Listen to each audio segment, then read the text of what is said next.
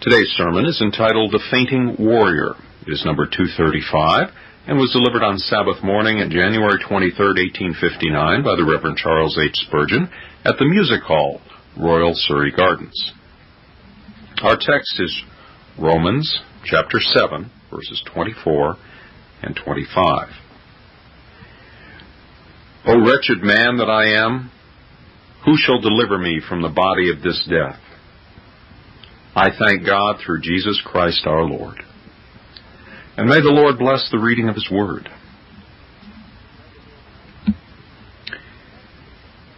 If I choose to occupy your time with controversial matter, I might prove to a demonstration that the Apostle Paul is here describing his own experience as a Christian.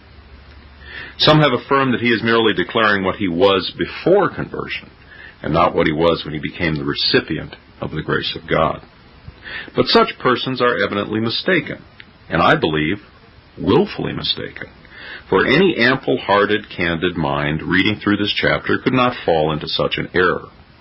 It is Paul the Apostle, who was not less than the very greatest of the apostles. It is Paul, the mighty servant of God, a very prince in Israel, one of the king's mighty men. It is Paul, the saint and the apostle, who here exclaims, O wretched man that I am! Now, humble Christians are often the dupes of a very foolish error. They look up to certain advanced saints and able ministers, and they say, Well, surely such men as these do not suffer as I do. They do not contend with the same evil passions as those which vex and trouble me. Ah, if they knew the heart of those men, if they could read their inward conflicts, they would soon discover that the nearer a man lives to God, the more intensely has he to mourn over his own evil heart, and the more his master honors him in his service, the more oft also doth the evil of the flesh vex and tease him day by day. Perhaps this error is more natural, as it is certainly more common with regard to apostolic saints. We have been in the habit of saying Saint Paul and Saint John, as if they were more saints than any other of the children of God. Now, they are all saints whom God has called by His grace and sanctified by His Spirit. But somehow we very foolishly put the apostles and the early saints into another list and do not venture to look on them as common mortals. We look upon them as some extraordinary beings who could not be men of like passions with ourselves. We are told in Scripture that our Savior was tempted in all points like we are, and yet we fall into the egregious error of imagining that the apostles, who were far inferior to the Lord Jesus, escaped these temptations and were ignorant of these conflicts. The fact is, if you had seen the apostle Paul, you would have thought he was remarkably like the rest of the chosen family. And if you had talked with him, you would have said, Why, Paul, I find that your experience and mine exactly agree. You are more faithful, more holy, and more deeply taught than I, but you have the same trials to endure. Nay, in some respects, you are more sorely tried than I.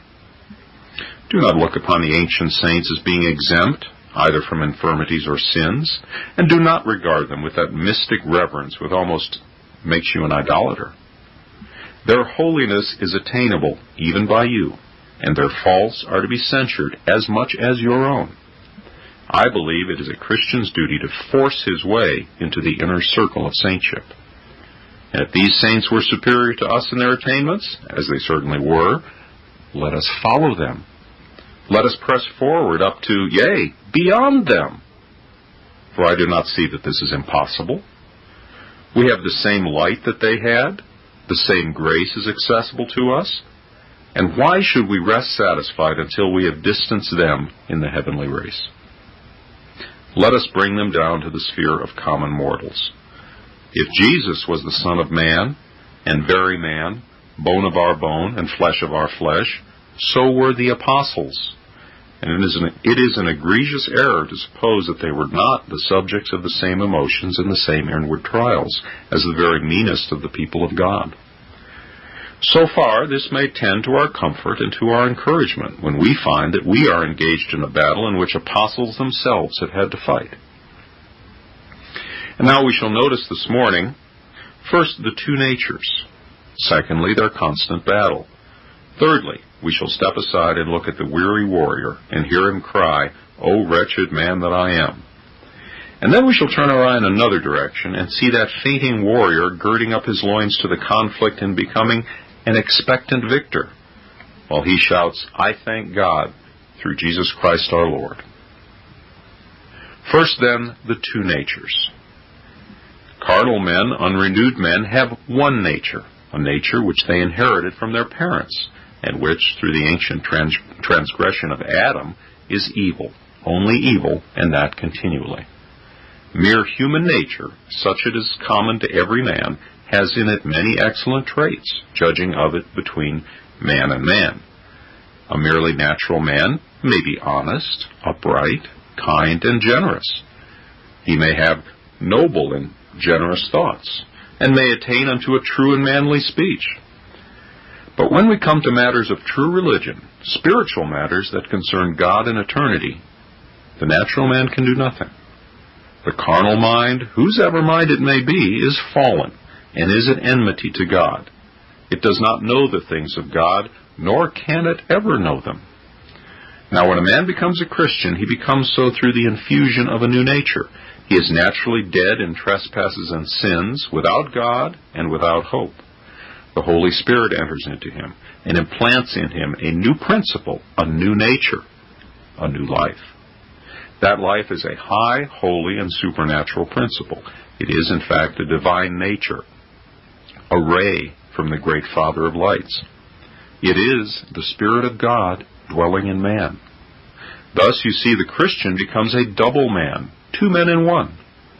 Some have imagined that the old nature is turned out of the Christian. Not so. For the Word of God and experience teach the contrary. The old nature is in the Christian, unchanged, unaltered, just the same, as bad as it ever was, while the new nature in him is holy, pure, and heavenly. And hence there arises a conflict between the two. Now I want you to notice what the apostle says about these two natures that are in the Christian, for I'm about to contrast them. First, in our text, the apostle calls the old nature the body of this death. Why does he call it the body of this death? Some suppose he means these dying bodies, but I do not think so. If it were not for sin, we should have no fault to find with our poor bodies. They are noble works of God and are not in themselves the cause of sin. Adam in the Garden of Perfection felt the body to be no encumbrance, nor if sin were absent should we have any fault to find with our flesh and blood. What then is it? I think the apostle calls the evil nature within him a body, first, in opposition to those who talk of the relics of corruption in a Christian. I have heard people say that there are relics, remainders, and remnants of sin in a believer. Such men do not know much about themselves yet. Oh, it is not a bone or a rag which is left. It is the whole body of sin that is there, the whole of it, from the crown of the head to the sole of the foot. Grace does not maim this body and cut away its members. It leaves it entire. Although blessed be God, it crucifies it, nailing it to the cross of Christ. And again, I think he calls it a body because it is something tangible, we all know that we have a body. It is a thing we can feel. We know it's there. The new nature is a spirit, subtle, and not easy to detect. I sometimes have to question myself as to whether it is there at all. But as for my old nature, that is a body, I can never find it difficult to recognize its existence. It is as apparent as flesh and bones. As I never doubt that I am in flesh and blood, so I never doubt but what I have sin within me. It is a body, a thing which I can see and feel, and which, to my pain, is ever present with me. Understand then that the old nature of the Christian is a body. It has in it a substance, or as Calvin puts it, it is a mass of corruption. It is not simply a shred, a remnant, the cloth of the old garment, but the whole of it is there still. True, it is crushed beneath the foot of grace. It is cast out of its throne. But it is there, there in all its entireness and in all its sad tangibility, a body of death. But why does he call it a body of death? Simply to express what an awful thing this sin is that remains in the heart. It is a body of death. I must use a figure which is always appended to this text, and very properly so. It was the custom of ancient tyrants, when they wished to put men to the most fearful punishments, to tie a dead body to them, placing the two back to back. And there was the living man with a dead body closely strapped to him, rotting, putrid, corrupting, and this he must drag with him wherever he went. Now, this is just what the Christian has to do. He has within him the new life, he has a living and underlying principle which the Holy Spirit has put within him. But he feels that every day he has to drag about with him this dead body, this body of death, a thing as loathsome, as hideous, as abominable to his new life as a dead, stinking carcass would be to a living man. Francis Quarles gives a picture at the beginning of one of his emblems of a great skeleton in which a living man is encased. However quaint the fancy, it is not more singular than true. There is the old skeleton man, filthy, corrupt, and abominable. He is a cage for the new principle which God has put in the heart. Consider a moment the striking language of our text, the body of this death. It is death incarnate, death concentrated, death dwelling in the very temple of life. Did you ever think what an awful thing death is? The thought is the most abhorrent to human nature. You say you do not fear death, and very properly. But the reason why you do not fear death is because you look to a glorious immortality. Death in itself is a most frightful thing. Now, inbred sin has about it all the unknown terror, all the destructive force, and all the stupendous gloom of death. A poet would be needed to depict the conflict of life with death, to describe a living soul condemned to walk through the black shades of confusion and to bear incarnate death in its very bowels. But such is the condition of the Christian. As a regenerate man, he is a firing, bright, immortal spirit, but he has to trade the sheds, shades of death. He has to do daily battle with all the tremendous powers of sin, which are as awful, as sublimely terrific as even the powers of death and hell. Upon reference to the preceding chapter, we find the evil principle styled the old man. There is much meaning in that word, old. But let it suffice us to remark that in age, the new nature is not upon an equal footing with the corrupt nature, there are some here who are 60 years old in their humanity who can scarce number two years in the life of grace. Now pause and meditate upon the warfare in the heart. It is the contest of an infant with a full grown man, the wrestling of a babe with a giant. Old Adam, like some ancient oak, has thrust his roots into the depths of manhood. Can the divine infant uproot him and cast him from his place? This is the work. This is the labor. From its birth, the new nature begins the struggle, and it cannot cease from it until the victory be perfectly achieved. Nevertheless, it is the moving of a mountain, the drying up of an ocean, the, the threshing of the hills, and who is sufficient for these things? The heaven-born nature needs and will receive the abundant help of its author, or it would yield in the struggle, subdued beneath the superior strength of its adversary and crushed beneath his enormous weight. Again, observe that the old nature of man, which remains in the Christian, is evil, and it cannot ever be anything else but evil. For we are told in this chapter that in me, that is, in my flesh, there dwelleth no good thing. The old Adam nature cannot be improved, it cannot be made better, it is hopeless to attempt it. You may do what you please with it. You may educate it. You may instruct it. Thus you may give it more instruments for rebellion. But you cannot make the rebel into the friend. You cannot turn the darkness into light. It is an enemy to God, and an enemy to God it ever must be. On the contrary, the new life which God has given us cannot sin. Now that is the meaning of a passage in John where it is said, The child of God sinneth not. He cannot sin because he is born of God. The old nature is evil, only evil, and that continually.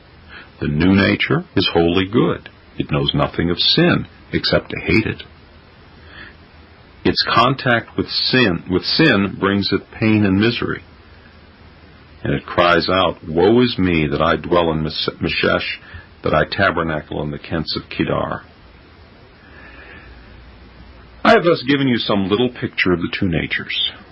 Let me again remind you that these two natures are essentially unchangeable.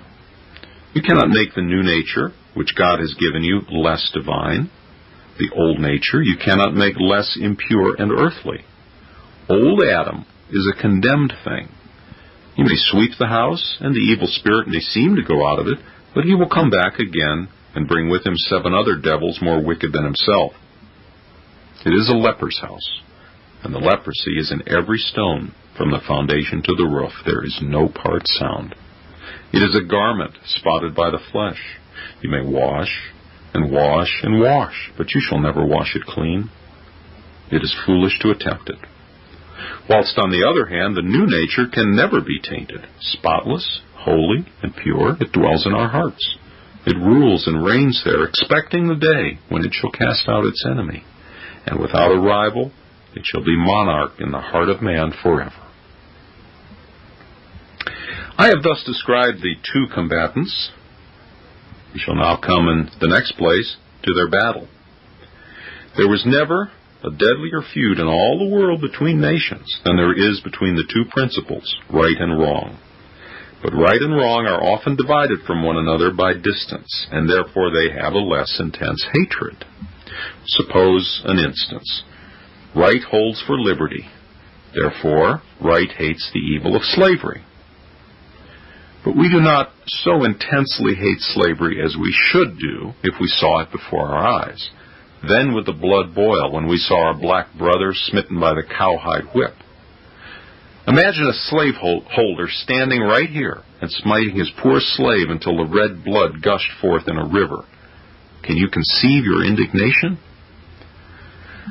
Now it is distance which makes you feel this less acutely the right forgets the wrong because it is far away. But suppose now that right and wrong lived in the same house. Suppose two such desperate enemies, cribbed, cabined, and confined within this narrow house called man. Suppose the two compelled to dwell together. Can you imagine to what a desperate pitch of fury these two would get on with one another? The evil thing says, I will turn thee out, thou intruder. I cannot be peaceful as I would. I cannot riot as I would. I cannot indulge just as I would. Out with thee. I will never be content until I slay thee. Nay, says the newborn nature, I will kill thee and drive thee out. I will not suffer stick or stone of thee to remain. I have sworn war to the knife with thee. I have taken out the sword and cast away the scabbard, and will never rest till I can sing complete victory over thee and totally eject thee from this house of mine. They are always at enmity, wherever they are. They were never friends and never can be. The evil must hate the good, and the good must hate the evil. And mark, although we might compare the enmity to the wolf and the lamb, Yet the newborn nature is not the lamb in all respects. It may be in its innocence and meekness, but it is not in its strength. For the newborn nature has all the omnipotence of God about it, whilst the old nature has all the strength of the evil one in it, which is a strength not easily to be exaggerated, but which we very frequently underestimate. These two things are ever desperately at enmity with one another, and even when they are both quiet, they hate each other nonetheless. When my evil nature does not rise, it still hates the newborn nature. And when the newborn nature is inactive, it has nevertheless a thorough abhorrence of all iniquity. The one cannot endure the other. It must endeavor to thrust it forth. Nor do these at any time allow an opportunity to pass from being revenged upon one another. There are times when the old nature is very active, and then how it will ply all the weapons of its deadly armory against the Christian. You will find yourself at one time suddenly attacked with anger. And when you guard yourself against the hot temptation, on all of a sudden you will find pride rising. And you'll begin to say to yourself, Am I not a good man to have kept my temper down?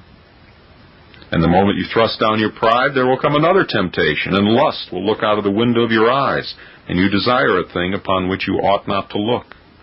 And ere you can shut your eyes upon the vanity, sloth in its deadly torpor surrounds you, and you give yourself up to its influence and cease to labor for God. And then, when you bestir yourself once more, you find that in the very attempt to rouse yourself, you've awakened your pride. Evil haunts you, Go where you may, or stand in what posture you choose. On the other hand, the new nature will never lose an opportunity of putting down the old. As for the means of grace, the newborn nature will never rest satisfied unless it enjoys them. As for prayer, it will seek by prayer to wrestle with the enemy. It will employ faith and hope and love. The threatenings, the promises, providence, grace, and everything else to cast out the evil. Well, says one, I don't find it so. Then I am afraid for you. If you do not hate sin so much that you do not do everything to drive it out, I'm afraid you're not a living child of God. Antinomians like to hear you preach about the evil of the heart, but here is the fault with them. They do not like to be told that unless they hate the evil, unless they seek to drive it out, and unless it is the constant disposition of their newborn nature to root it up, they are yet in their sins. Men who only believe their depravity, but do not hate it, are no further than the devil on the road to heaven. It is not my being corrupt that proves me a Christian, nor knowing that I am corrupt, but that I hate my corruption. It is my agonizing death struggle with my corruptions that proves me to be a living child of God. Now, these two natures will never cease to struggle so long as we are in this world. The old nature will never give up. It will never cry truce. It will never ask for a treaty to be made between the two. It will always strike as often as it can. When it lies still, it's only preparing for some future battle. The battle of Christian with Apollyon lasted three hours, but the battle of Christian with himself lasted all the way from the wicket gate to the river Jordan. The enemy within can never be driven out while we are here. here. Satan may sometimes be absent from us and get such a defeat that he's glad to go howling back to his den, but old Adam abides with us from the first even to the last. He was with us when we first believed in Jesus, and long ere that, and He will be with us till that moment when we shall leave our bones in the grave, our fears in the Jordan, and our sins in oblivion. Once more observe that neither of these two natures will be content in the fight without bringing in allies to assist.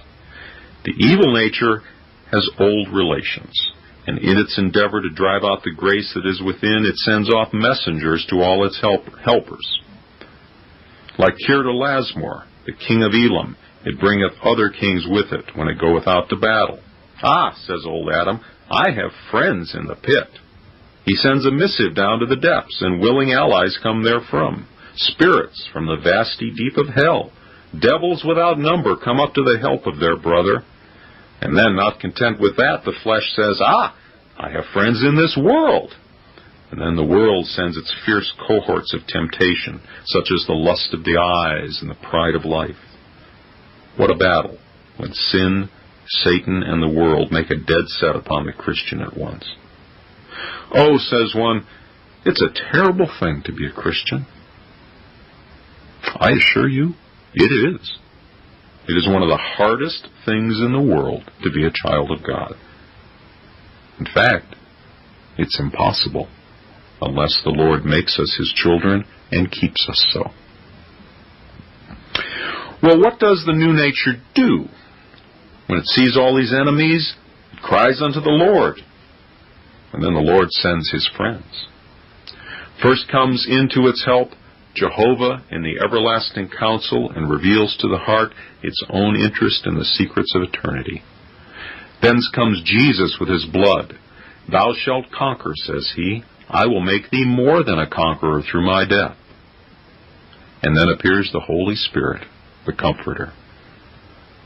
With such assistance, this newborn nature is more than a match for its enemies.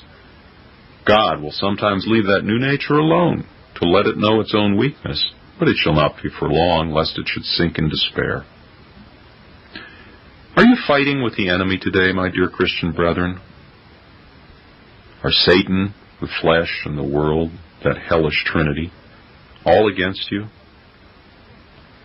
Remember, there's a divine trinity for you. Fight on, though like valiant for truth, your blood runs from your hand and glues your sword to your arm. Fight on, for with you are the legions of heaven. God himself is with you. Jehovah is your banner, and Jehovah is the healer of your wounds. You shall overcome, for who can defeat omnipotence or trample divinity beneath his foot? I have thus endeavored to describe the conflict, but understand me, it cannot be described.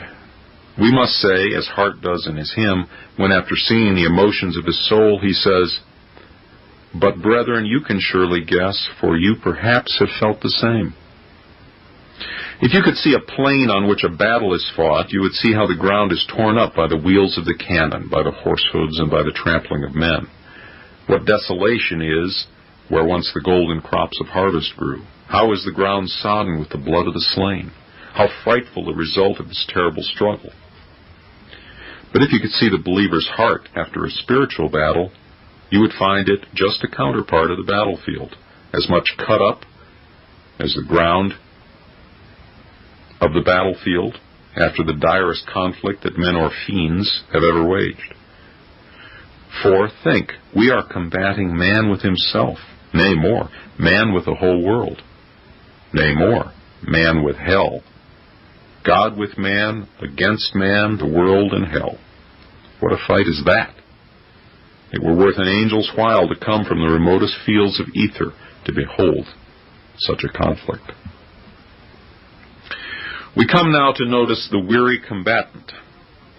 He lifts up his voice, and weeping he cries, O wretched man that I am, who shall deliver me from the body of this death? It is the cry of a panting warrior. He has fought so long that he's lost his breath, and he draws it in again. He takes breath by prayer. Oh, wretched man that I am, who shall deliver me from the body of this death? He will not give up the conflict. He knows he cannot, and he dare not. That thought does not enter into his mind. But the conflict is so sore, the battle so furious, that he's almost defeated. He sits down to refresh himself, and thus he sighs out his soul like the panting hart, longing for the water brook. He says, Oh, wretched man that I am. Nay, it's more than that. It's the cry of one who's fainting, He's fought till all his strength is spent, and he falls back into the arms of his Redeemer with this fainting gasp. Oh, wretched man that I am. His strength has failed him. He's sorely beaten in the battle. He feels that without the help of God, he's so totally defeated that he commences his own wail of defeat. Oh, wretched man that I am. And then he asks this question Who shall deliver me? And there comes a voice from the law I cannot and will not. There comes a voice from conscience. I can make thee see the battle, but I cannot help thee in it. And then there comes a cry from old human nature, and that says, Ha! None can deliver thee. I shall yet destroy thee. Thou shalt fall by the hand of thine enemy. The house of David shall be destroyed, and Saul shall live and reign forever. And the poor fainting soldier cries, Who shall deliver me? It seems a hopeless case. And I believe that sometimes a true Christian may think himself hopelessly given over to the power of sin. The wretchedness of Paul, I think, lay in two things, which are enough to make any man wretched. Paul believed the doctrine of human responsibility, and yet he felt the doctrine of human inability. I've heard people say sometimes, Well, you tell the sinner that he cannot believe and repent without the help of the Holy Spirit, and yet you tell him that it's his duty to believe and repent. How are these two to be reconciled? Well, we reply that they do not want any reconciliation. They are two truths of Holy Scripture, and we leave them to reconcile themselves. They are friends, and friends do not need any reconciliation. But what seems a difficulty as a matter of doctrine is clear as daylight as a matter of experience. I know it is my duty to be perfect, but I'm conscious I cannot be. I know that every time I commit sin, I'm guilty. Yet I'm quite certain that I must sin, that my nature is such that I cannot help it. I feel that I'm unable to get rid of this body of sin and death, yet I know I ought to get rid of it. These two things are enough to make any man miserable, to know that he's responsible for his sinful nature, and yet to know that he cannot get rid of it. To know that he ought to keep it down, and yet to feel he cannot. To know that it is his business to keep God's law perfectly and walk in the commandments of the law blameless, and yet to know by sad experience that he is as unable to do so as he is to reverse the motion of the globe or dash the sun from the center of the spheres. How will not these two things drive any man to desperation? The way in which some men avoid the dilemma is by a denial of one of these truths. They say, well, it's true I'm unable to cease from sin, and then they deny their obligation to do so. They do not cry, O wretched man that I am. They live as they like and say they cannot help it. On the other hand, there are some men who know they're responsible, but then they say, Aye, but I can cast off my sin. And these are tolerably happy. The Arminian and the Hyper Calvinist, both of them, get on very comfortably. But the man who believes these two doctrines as taught in God's Word, that he is responsible for sin, and yet that he is unable to get rid of it, I do not wonder that when he looks into himself, he finds enough to make him sigh and cry, ever to faintness and despair, O wretched man that I am, who shall deliver me from the body of this death? And now says one, Ah, I would not be a Christian if that's the way in which he faints. If he is always to be fighting with himself, even until he despairs of victory. Well, stop a moment. Let us complete the picture. This man is fainting, but he'll be restored by and by. Think not that he is hopelessly defeated. He falls to rise. He faints, but to be revived afresh. I know a magic which can awaken his sleeping hopes and shoot a thrill along the freezing current of his blood. Let us sound the promise in his ear, see how soon he revives. Let us put the cordial to his lips, see how he starts up and plays the man again. I have been almost defeated, says he, almost driven to despair. Rejoice not over me, O mine enemy, though I fall, yet shall I rise again. And he lets fly against him once more, shouting, I thank God through Jesus Christ our Lord. So on he goes again, more than a conqueror, through him that has loved him. This brings me to this last point, that the Christian is to be a conqueror at last. Do you think that we are forever to be the drudges and the slaves of sin? Am I forever to be the galley slave of my own nature, to tug for freedom and never to escape? Am I always to have this dead man chained to my back and sniff the pestiferous exhalations of his putrid body? No, no, no. That which is within my heart is like a caged eagle, and I know that soon the bars which confine me shall be broken. The door of my cage shall be opened, and I shall mount with my eye upon the Son of Glory, soaring upward, true to the line, moving neither to the right hand nor the left, flying till I reach my eyrie and the everlasting rocks of God's eternal love. The dust may besmear our robes, and filth may be upon our brow, and beggared may be our garment, but we shall not be so forever. The day is coming when we shall rise and shake ourselves from the dust and put on our beautiful garments. It is true, we are now like Israel and Canaan. Canaan is full of enemies, but the Canaanites shall and must be driven out. Amalek shall be slain, Agag shall be hewn in pieces. Our enemies shall, every one of them, be dispersed. And the whole land from Dan to Beersheba shall be the Lord's. Christians, rejoice. You are soon to be perfect. You are soon to be free from sin, totally free from it, without one wrong inclination, one evil desire. You are soon to be as pure as the angels in light. Nay, more. With your master's garments on you, you are to be holy as the Holy One. Can you think of that? Is not that the very sum of heaven? The rapture of bliss? The sonnet of the hilltops of glory? That you are to be perfect?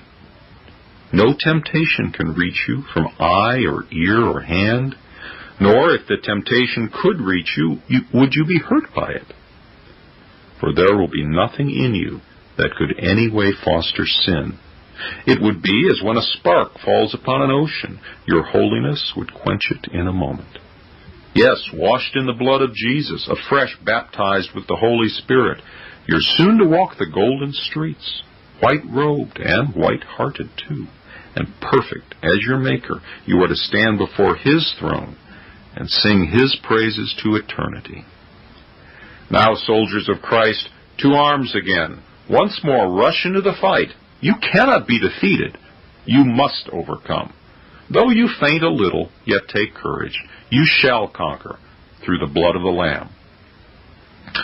And now turning aside for a minute, I shall conclude by making an observation or two to many now present. There are some here who say, I'm never disturbed in that fashion. Then I am sorry for you. I will tell you the reason of your false peace. You have not the grace of God in your hearts.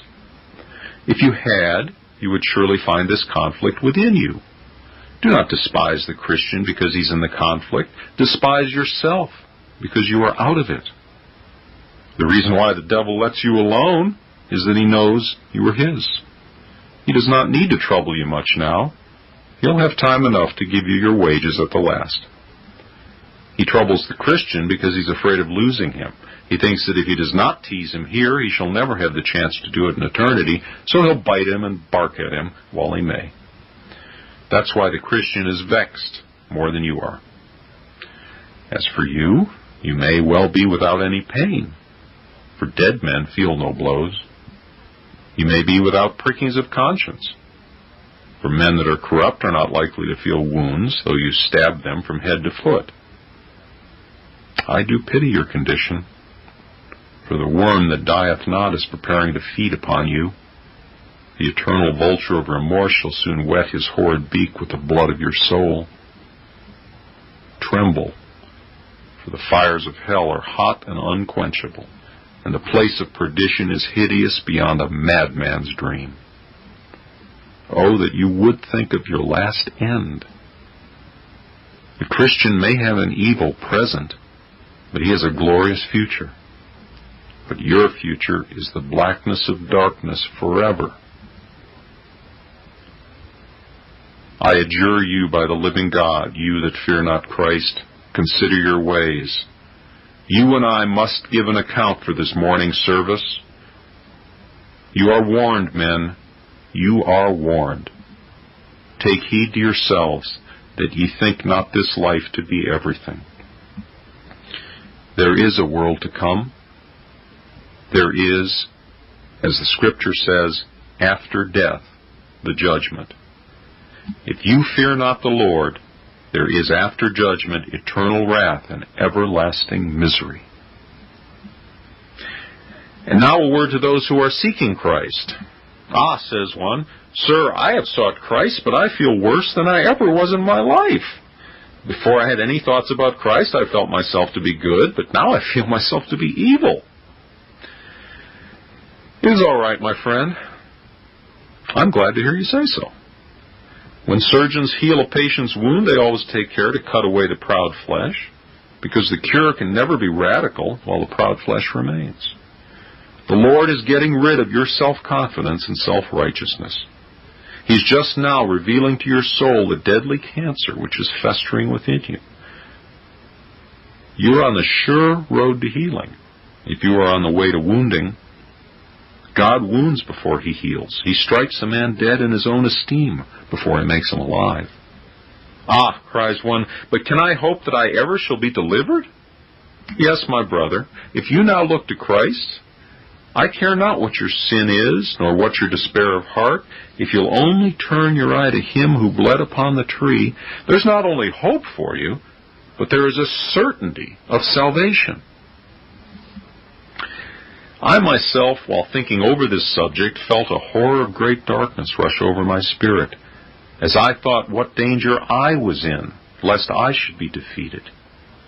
And I could not get a glimpse of light in my burdened spirit until I turned my eye and saw my master hanging on the tree.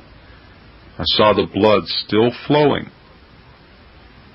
Faith laid hold upon the sacrifice, and I said, This cross is the instrument of Jesus' victory, and it shall be the means of mine. I looked to his blood. I remembered that I was triumphant in that blood. I rose from my meditations, humbled, but yet rejoicing cast down, but not in despair, looking for the victory. Do likewise. Jesus Christ came into the world to save sinners. Believe that. You are an awakened, conscious, and penitent sinner. Therefore, he came to save you. Believe his word. Trust him. Do nothing for your own salvation of yourself, but trust him to do it. Cast yourself simply and only on Him. And as this Bible is true, you shall not find the promise fail you. He that seeketh findeth, to him that knocketh it shall be opened. May God help you by giving you this new life within. May He help you to look to Jesus. And though long and hard be the conflict, sweet shall be the victory. Amen.